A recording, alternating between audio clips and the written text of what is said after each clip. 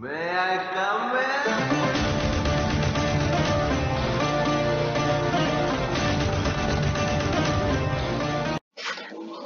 ನಮ್ಮ ಚಾನೆಲ್ನಲ್ಲಿ first time video ನೋಡ್ತಾ ಇದ್ರೆ ವಿಡಿಯೋ ಕೆಳಗಿರುವ ಸಬ್ಸ್ಕ್ರೈಬ್ ಬಟನ್ ಅನ್ನು ಕ್ಲಿಕ್ ಮಾಡಿ, ಹಾಗೆಯೇ ಪಕ್ಕದಲ್ಲಿರುವ ಬೆಲ್ ಐಕನ್ ಅನ್ನು ಪ್ರೆಸ್ ಮಾಡಿ.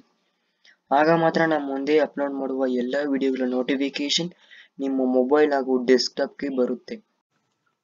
ಹಾಯ್ ಫ್ರೆಂಡ್ಸ್ ಈ ವಿಡಿಯೋದಲ್ಲಿ ಏನು ನೋಡ್ತೀವಿ ಅಂದರೆ ಕೆಪಾಸಿಟರ್ ಡಿ ಸಿ ಸಪ್ಲೈನಲ್ಲಿ ಮತ್ತು ಎ ಸಿ ಸಪ್ಲೈನಲ್ಲಿ ಹೇಗೆ ವರ್ಕ್ ಆಗುತ್ತೆ ಹಾಗೂ ಕೆಪಾಸಿಟರ್ನ ಪ್ಯಾರಲಲ್ ಆಗಿ ಅಥವಾ ಸೀರೀಸ್ ಆಗಿ ಕನೆಕ್ಟ್ ಮಾಡಿದ್ರೆ ಹೇಗೆ ವರ್ಕ್ ಆಗುತ್ತೆ ಅಂತ ಈ ವಿಡಿಯೋದಲ್ಲಿ ನೋಡೋಣ.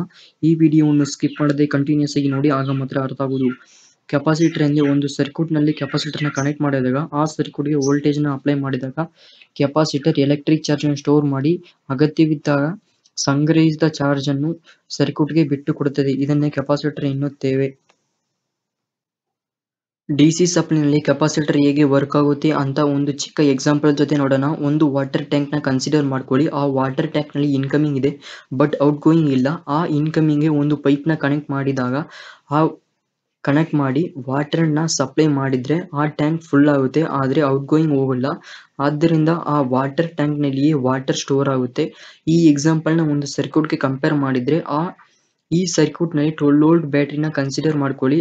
ಆ ಟ್ವೆಲ್ ವೋಲ್ಟ್ ಬ್ಯಾಟ್ರಿಗೆ ಒಂದು ಕೆಪಾಸಿಟರ್ನ ಕನೆಕ್ಟ್ ಮಾಡಿದಾಗ ಆ ಸರ್ಕ್ಯೂಟ್ ಓಪನ್ ಸರ್ಕ್ಯೂಟ್ ಆಗಿ ಆಕ್ಟ್ ಆಗುತ್ತೆ. ಏಕೆಂದರೆ ಎ ಸಿನಲ್ಲಿ ಫ್ರೀಕ್ವೆನ್ಸಿ ಇರುವುದರಿಂದ ಎಲೆಕ್ಟ್ರಿಕ್ ಫೀಲ್ಡ್ನ ಕ್ರಿಯೇಟ್ ಮಾಡಿ ಎಲೆಕ್ಟ್ರಿಕ್ ಚಾರ್ಜ್ ಆಗಿ ಸ್ಟೋರ್ ಮಾಡುತ್ತೆ. ಡಿ ಸಿನಲ್ಲಿ ಆದರೆ ಫ್ರೀಕ್ವೆನ್ಸಿ ಇಲ್ಲ. ಆದ್ದರಿಂದ ಡಿ ಸಿನಲ್ಲಿ ಎಲೆಕ್ಟ್ರಿಕ್ ಫೀಲ್ಡ್ನ ಕ್ರಿಯೇಟ್ ಮಾಡೋಕ್ಕಾಗದೆ ಎಲೆಕ್ಟ್ರಿಕ್ ಚಾರ್ಜ್ನ ಸ್ಟೋರ್ ಮಾಡೋಕ್ಕಾಗಲ್ಲ. ಸೊ ಈ ಸರ್ಕ್ಯೂಟ್ ಓಪನ್ ಸರ್ಕ್ಯೂಟ್ ಆಗಿ ಆಕ್ಟ್ ಆಗುತ್ತೆ.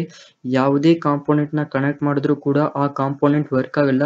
ಈ ರೀತಿ ಸರ್ಕ್ಯೂಟ್ನಲ್ಲಿ ಕೆಪಾಸಿಟಿವ್ ರಿಯಾಕ್ಟೆನ್ಸ್ ಇನ್ಫಿನಿಟಿ ಇರುತ್ತೆ ಅಥವಾ ಆ ಟೋಟಲ್ ಸರ್ಕ್ಯೂಟ್ ಸ್ಟ್ಯಾಚ್ಯೂರ್ ಆಗಿ ವರ್ಕ್ ಆಗುತ್ತೆ. ಆದ್ದರಿಂದ ಕೆಪಾಸಿಟರ್ ಡಿ ಸಿ ಸಪ್ಲೈನ ಅಲೋ ಮಾಡಲ್ಲ ಎ ಸಿ ಎ ಸಿ ಸಪ್ಲೈನಲ್ಲಿ ಹೇಗೆ ವರ್ಕ್ ಆಗುತ್ತೆ ಅಂದರೆ ಎ ಸಿನಲ್ಲಿ ಫ್ರೀಕ್ವೆನ್ಸಿ ಇರುವುದರಿಂದ ಪಾಸಿಟಿವ್ ಆಫ್ ಸೈಕಲ್ನಲ್ಲಿ ಕೆಪಾಸಿಟರ್ ಚಾರ್ಜ್ ಆಗುತ್ತೆ. ನೆಗೆಟಿವ್ ಆಫ್ ಸೈಕಲ್ನಲ್ಲಿ ಕೆಪಾಸಿಟರ್ ಡಿಸ್ಚಾರ್ಜ್ ಮಾಡುತ್ತೆ. ಇದನ್ನು ಒಂದು ಸರ್ಕ್ಯೂಟ್ ಇದನ್ನು ಒಂದು ಎಕ್ಸಾಂಪಲ್ ಜೊತೆ ನೋಡೋಣ. ಒಂದು ವಾಟರ್ ಟ್ಯಾಂಕ್ನಲ್ಲಿ ಇನ್ಕಮಿಂಗ್ ಇದೆ ಮತ್ತು ಔಟ್ ಗೋಯಿಂಗು ಇದೆ. ಇವಾಗ ವಾಟರ್ನ ಸಪ್ಲೈ ಮಾಡಿದಾಗ ಟ್ಯಾಂಕ್ ಫುಲ್ ಆಗುತ್ತೆ.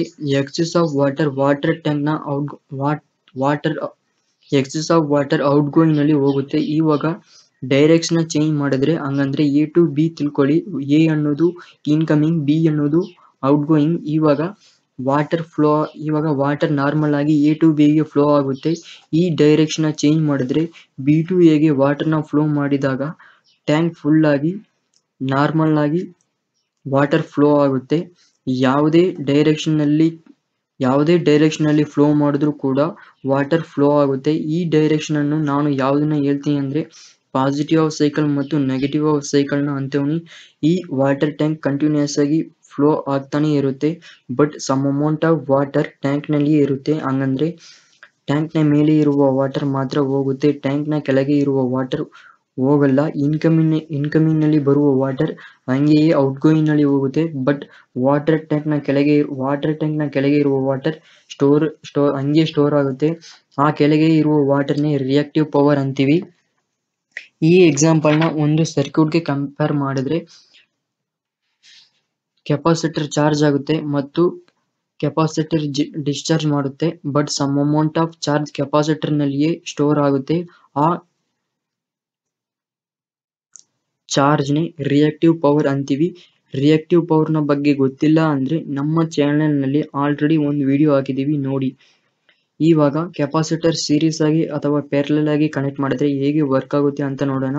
ಕೆಪಾಸಿಟರ್ನ ಸೀರೀಸ್ ಆಗಿ ಕನೆಕ್ಟ್ ಮಾಡಿದ್ರೆ ಕೆಪಾಸಿಟರ್ನ ಸ್ಟೋರೇಜ್ ಕೆಪಾ ಕೆಪಾಸಿಟಿ ಕಡಿಮೆ ಆಗುತ್ತೆ. ಎಕ್ಸಾಂಪಲ್ಗೆ ರೆಸಿಸ್ಟೆನ್ಸ್ನ ಸೀರೀಸ್ ಆಗಿ ಕನೆಕ್ಟ್ ಮಾಡಿದ್ರೆ ರೆಸಿಸ್ಟೆನ್ಸ್ನ ವ್ಯಾಲ್ಯೂ ಇನ್ಕ್ರೀಸ್ ಆಗುತ್ತೆ. ಹಂಗಂದ್ರೆ ಒನ್ ಓಮ್ ಮತ್ತು ಒನ್ ಓಮ್ನ ರೆಸಿಸ್ಟೆನ್ಸ್ನ ಸೀರೀಸ್ ಆಗಿ ಕನೆಕ್ಟ್ ಮಾಡಿದ್ರೆ ಟೂ ಓಮ್ ಆಗಿ ಆಕ್ಟ್ ಆಗುತ್ತೆ. ಅದೇ ಕೆಪಾಸಿಟರ್ನ ಸೀರೀಸ್ ಆಗಿ ಕನೆಕ್ಟ್ ಮಾಡಿದ್ರೆ ಒನ್ ಫೇರೆಡ್ ಮತ್ತು ಒನ್ ಫೇರೆಡ್ನ ಸೀರೀಸ್ ಆಗಿ ಕನೆಕ್ಟ್ ಮಾಡಿದ್ರೆ ಅದು ಜೀರೋ ಪಾಯಿಂಟ್ ಫೈವ್ ಫೇರೆಡ್ ಆಗಿ ಆಕ್ಟ್ ಆಗುತ್ತೆ.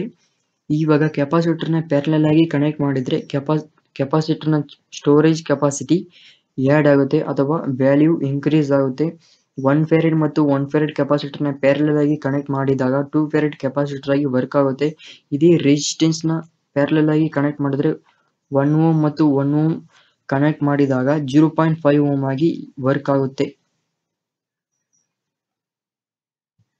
ಈ ವಿಡಿಯೋದಲ್ಲಿ ನಾವು ಕೆಪಾಸಿಟರ್ ಡಿಸಿ ಸಪ್ಲೈನಲ್ಲಿ ಹಾಗೂ ಎಸಿ ಸಪ್ಲೈನಲ್ಲಿ ಹೇಗೆ ವರ್ಕ್ ಆಗುತ್ತೆ ಅಂತ ನೋಡೋದು ಮತ್ತು ಕೆಪಾಸಿಟರ್ ಪ್ಯಾರಲಲ್ ಆಗಿ ಅಥವಾ ಸೀರೀಸ್ ಆಗಿ ಕನೆಕ್ಟ್ ಮಾಡಿದಾಗ ಹೇಗೆ ವರ್ಕ್ ಆಗುತ್ತೆ ಅಂತ ನೋಡಿದ್ರು. ಇವಾಗ ಕೆಪಾಸಿಟರ್ ಡಿಸಿ ಸರ್ಕ್ಯೂಟ್ನಲ್ಲಿ ಹಾಗೂ ಎಸಿ ಸರ್ಕ್ಯೂಟ್ನಲ್ಲಿ ಹೇಗೆ ವರ್ಕ್ ಆಗುತ್ತೆ ಅಂತ ನೋಡೋಣ.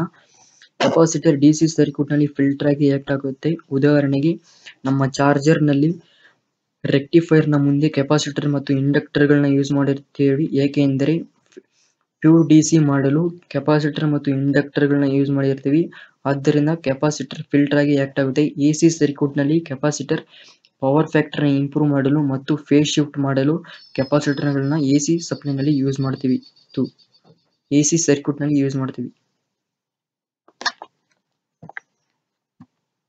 ಈ ವಿಡಿಯೋ ಇಷ್ಟ ಆದರೆ ಲೈಕ್ ಮಾಡಿ ಶೇರ್ ಮಾಡಿ ಡೌಟ್ ಬಂದರೆ ಕಮೆಂಟ್ ಬಾಕ್ಸ್ ಅಲ್ಲಿ ಕಮೆಂಟ್ ಮಾಡಿ.